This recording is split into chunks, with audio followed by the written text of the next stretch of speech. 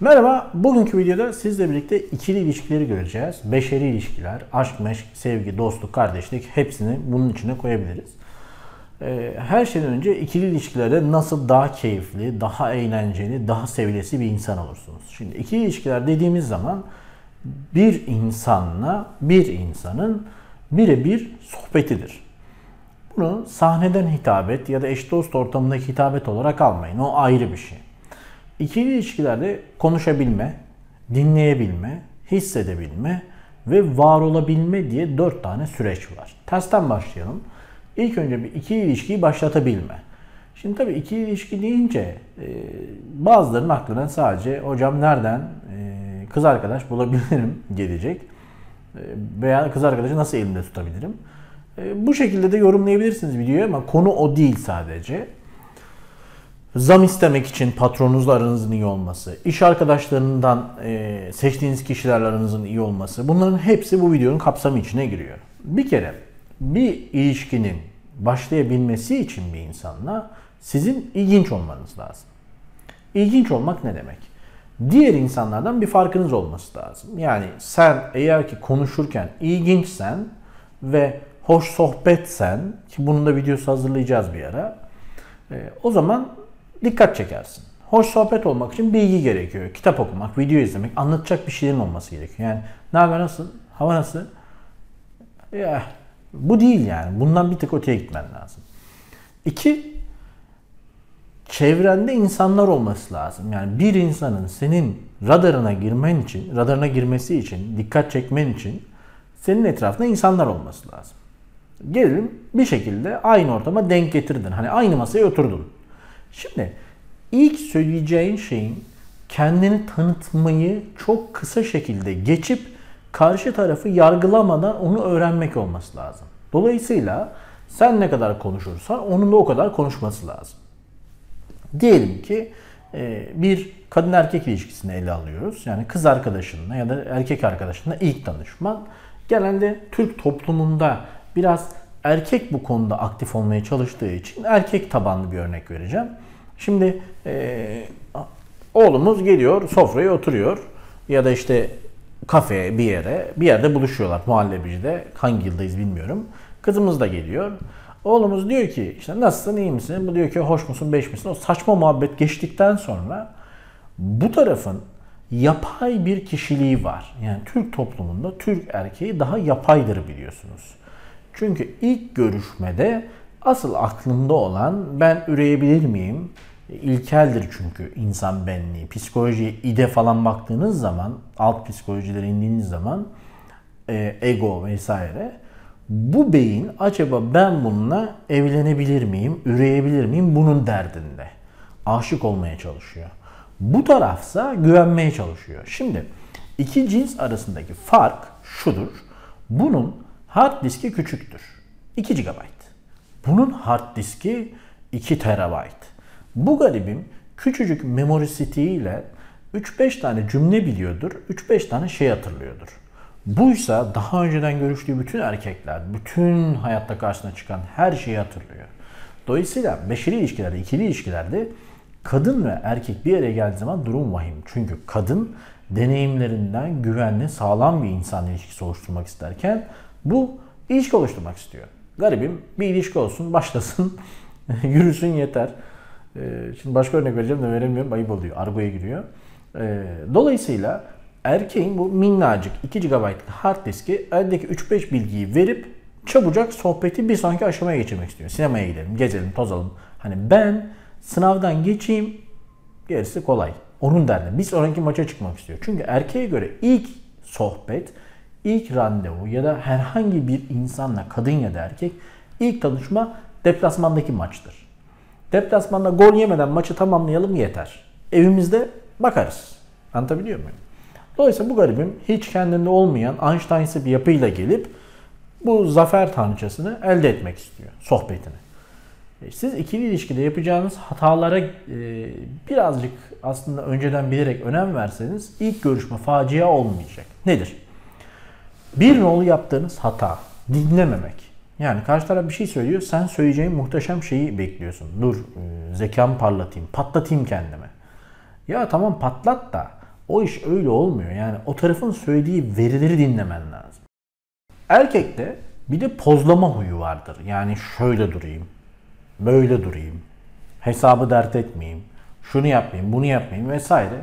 Doğal olmak ikili ilişkilerin başlangıcında sizin için önemlidir. Şimdi erkeğin beyni 2 GB dedik ama hard disk hızlı çalışıyor. 7. Niye? Data az zaten. Bulduğunu işliyor. O yüzden hızlı konuşuyor. Erkekler hızlı data tüketir. Eğer dikkat ederseniz beni örnek almayın. Ben öyle çekici e, havalı olmak dende değilim. Bir erkek yavaş konuşursa daha olgun gözükür. Niye? Çünkü hızlı konuştuğunda yapacağı hatalar veya saçmalıklar kaybolur. Erkek tarafında durum böyleyken ve az soru sorulmasını severken kadın normalde günde 10 bin kelime civarı konuşabilen bir canlı. Erkek 3-5 binle yetiniyor. Bu kadının günlük çok fazla konuşma ihtiyacı beynin iki yarım küresinde gelişmiş olmasından. Sağ sol lobda çatır çatır savaşmaya hazır. Bu küçük bir tabancası var. Peking Peking ateş ediyor. Komik. Dolayısıyla iletişim kısmında kadınların hem görselliğe hem zekaya hem aynı zamanda esprilere hem de çeşitli sizin sunduğunuz beden dillerine güvenmesi lazım. Bunları görmesi lazım. İkili ilişkilerde eğer ki siz erkek erkek arasında bir ilişki kuracaksanız erkekler sırayla konuşmayı severler. Telsiz gibi. Sen söyle, ben söyleyeyim. Sen söyle, ben söyleyeyim. Sen söyle. Dikkat edin erkekler bir arada konuşurken ikisi aynı anda konuşuyorsa abi bir, bir bak ben bir şey O değil de bak bir şey söyleyeceğim. Yani sen sus ben konuşayım. Basit. Ee, hanımefendiler de öyle değil. Hanımefendilerin birden fazla insanla ilişkisinde, sohbetinde kimseye geveze demiyorum, tepki almayayım ee, kadınların beyinleri sağ sol geliştiği için datayı hızlı alıp verir. Yani bu kadın gelir oturur, bir kadın daha gelir, bir kadın daha gelir. Bu bununla konuşurken öbürünü dinler, öbürlerinin arasındaki lafı dinleyip buna laf koyarken öbür masayı kütür kütür böyle bir kombinasyon var. Çoklu data işleme, çok işlemci, tek işlemci yazık, buna yazık. Şimdi bu tek işlemci bununla eş olduğu zaman, hani oldular bir şekilde muhallebiciden öteye gittik. Bununla eş olduğu zaman sıkıntı başlıyor. Neden? Çünkü ikili ilişkilerin ileri seviyesi var. Aile ilişkileri, kız arkadaş, sevgililik ya da ilerleyen seviyesi. O zaman mesele şurada bozuluyor. Bu diyor ki buna Hatırlıyor musun 5 yıl önce şöyle bir şey olmuş da bilmem ne. Bunun 2 GB'ın 10 kere format atılmış derinlerinde bir yerde o data yok. Zaman kazanmaya çalışıyor. Garibin bulamadığı için de haklı girdiği bütün tartışmalardan özür dileyerek pıtır pıtır çıkıyor. Bizim kadın erkek ilişkilerinde ve beşeri ilişkilerde, ikili ilişkilerde artık dikkat etmemiz gereken en önemli şey boşlukları yalanla doldurmamak ya da boşluklarda konuşmamak. Yani biri size bir şey söyledi, söyleyecek bir şeyiniz yok. Susun. Sorun şu ki susmuyorsunuz. O sırada bir şey söylüyorsunuz. O söylediğinizde dağ taşa gidiyor. Yani ya geri dönülmez bir şey oluyor. Bunun en tehlikelisi ağzınızdan kötü bir şey çıktı. Kıracak bir şey çıktı. Oradan sonra şu beynin boşa düşme olayı sizi yanıltması çok kötüdür. Beyin der ki ya bir kere vurdun bari öldür. Yani kafasına vurdun. Bu yaralı kalmasın bunu öldür. Sonra ağzınızdan kütür kütür kusarsınız 5 yıllık acıyı. Etmeyin. Ağzınızdan çıkan her hatada özür dilerim deyip tam olarak demek istediğim. Bunu demek istemedim deme. Tam olarak demek istediğim şudu de öyle değiştir. Bir diğer konu insanlarla doğru yerde ve doğru zamanda iletişim. Şimdi siz eğer bir insanın mesela bir erkeğin araba sürerken yanına gidip de konuşmaya çalışırsanız erkek onu anlamaz. Çünkü beyin tek yönlü çalışıyor. Erkek arabayı mı süreyim, kadını mı dinleyeyim, arabayı süreyim, kadını mı dinleyeyim, arabayı boş ver direksiyonu kırayım hepimiz gitsin der. Format atar. Etme.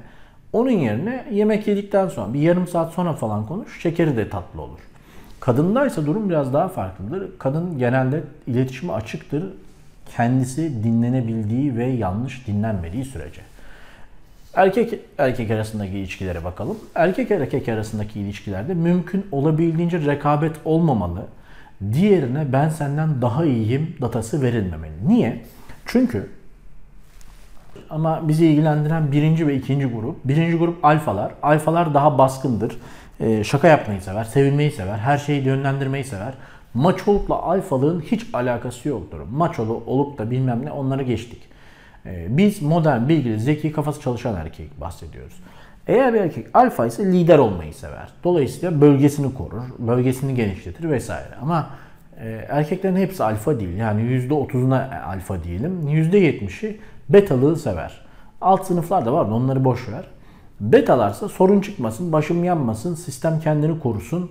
Ben kendimi mutlu edeyim, sohbet, muhabbet falan. Akşam eve kazası belası yastığı koyayım kafayı, kafayı yastığa koyayım yeterler.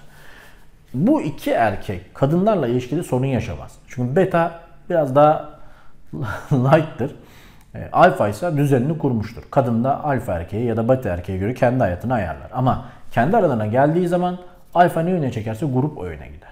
Dolayısıyla iki ilişkilerinde alfa alfa karşı karşıya gelmediği sürece sorun yok. Ama iki alfa yan yana gelirse ikili ilişki patlar.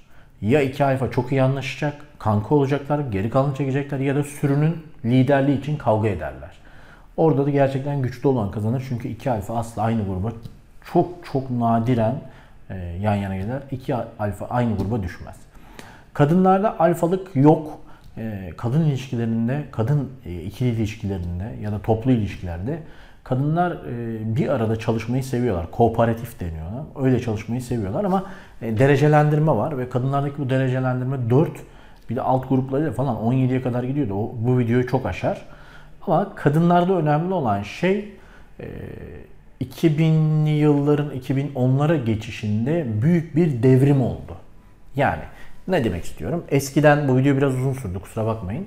Eskiden biz e, hamarat kadına e, değer verirken eskiden biz çok iyi pilav yapan, çok iyi zeytinyağlı olma yapan kadına değer verirken toplum olarak, Türk toplumu olarak diyorum.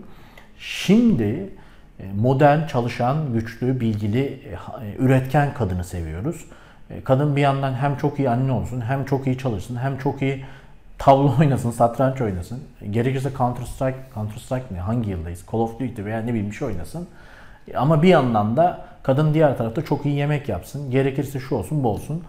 Şimdi kadın olmak, kadının güçlü olması çok değişti. E şimdi bu erkek açısından çok sorun değil. Yani erkek bir şekilde kadın erkek ilişkisine dönüp de çok iyi kaynayak yapıyor musun? Peki Almanca nasıl demiyor. Ama kadınlar kendi arasındaki rekabette, ikili ilişkilerde yan yana olmasa dahi rekabet içinde.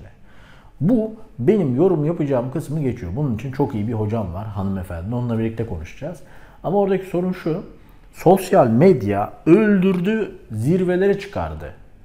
Yani hem yerin dibine soktu bu ikili ilişkiyi. Çünkü o oradan e, Twitter'dan laf koyup Instagram'dan alırken Facebook'tan, 3 banttan, bilmem nereden, Scott'tan, şuradan buradan bir savaş dönüyor. Ve kadın sanal savaşında günde 1 saat harcayabiliyor. 2016 istatistiğine göre. Yüz yüzeyken biraz daha farklı maalesef. Erkekler yüz yüzeyken çok e, politikacıya tiyatro olamadıkları halde kadınlar yüz yüzeyken ikili ilişkilerde biraz daha sinirlerini koruyabiliyorlar, farklı davranabiliyorlar. Peki çok dağıttık. Bu videonun temeline gelirsek e, benim size önerim ikili ilişkilerinizde başarılı olmak için bir en önemlisi e, kişisel gelişiminizi tamamlayın. İki Karşı tarafı dinleyin ya da dinliyormuş gibi yapmayı başarın. 3 3 3 Inglourious Basterds 3 e, mümkünse küfür etmedim. Film adı. 3 e, mümkünse e, kendi içinizde sevdiğiniz insanları gruplandırın ve onlara belli ziyaret, telefon, görüşme dilimleri ayırın. Yani diyelim ki şu kişiyle ben haftada bir görüşeceğim. Şu birinci seviye. Şu kişiyle 15 günde bir. ikinci seviye. Şu kişiyle ayda bir. Üçüncü seviye. Gittikçe azalıyor. Bu kişiyi arada bir aramayı unutmayayım gibi.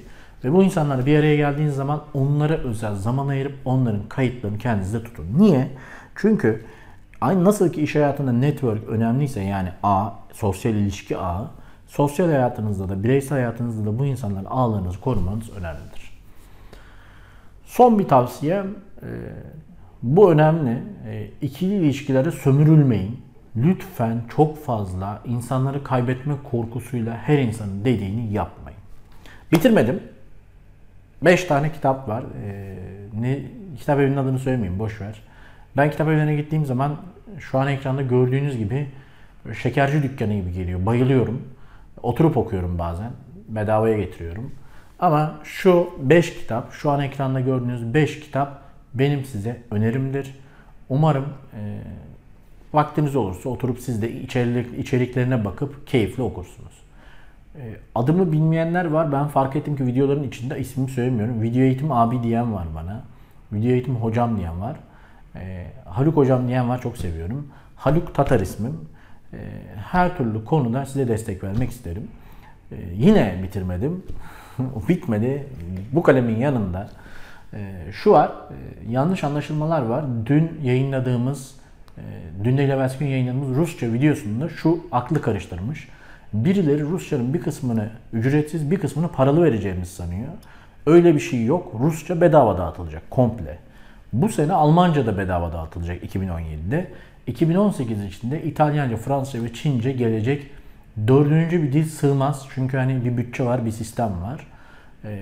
2019 ee, yılı içinde e, biraz daha böyle doğu kültüründen diller gelecek diye düşünüyorum. Arapça bunlardan birisi olabilir.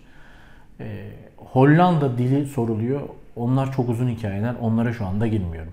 Yapamayacağım şeyi söz vermem, söz verdiğim şeyi yapmak isterim. Son bir şey söyleyip kapatıyorum. Ee, şu soru çok geliyor. Niye yapıyorsunuz bunu? Daha önce de söyledim. Başkaları niye yapmıyor? Ben onu anlayamıyorum. Umarım herkes gerçekten bildiğini bulduğunu bir şeyini paylaşır. Ben şirketimin belli bir gelirini e, burs olarak dağıttığım gibi aynı zamanda bu şekilde de herkese video sunabilecek şekilde hocalarla görüşmeye, çekim maliyetlerine, Almanca, Rusça eğitimlerinin maliyetlerine, daha görmediğiniz bir süre eğitim var çekilmesi planlanan stüdyoya bunlara yatırıyorum ve geri dönüşümde çok güzel yorumlarla alıyorum. Teşekkür ederim. Buradan yorum bölümündeki birçok insana teşekkür ederim. İşte isimlerini söylemezsem, söylersem tek tek söylemediklerim ayıp olacak. Ama onlar biliyor. Her videoda yorum bölümünde yalnız bırakmayanlar. Siz destek verin. Biz daha çok video çekeriz. Bir yorum var. O yorumda diyorsunuz ki e, Haluk Hocam giriş videosunu, girişteki şeyi değiştirin. E, değiştirelim ama vakit yok. Ben şöyle diyeyim. E, beni izleyenlerden böyle güzel intro yapacak ve çıkış intro dediğim için özür dilerim. Türkçe söylüyorum. Giriş döngüsü yapacak kimse varsa iletirse sevinirim. Yoksa biz e, yaz sonunda onu değiştireceğiz zaten. Ben Önük Tatar. Beni izlediğiniz için teşekkür ederim.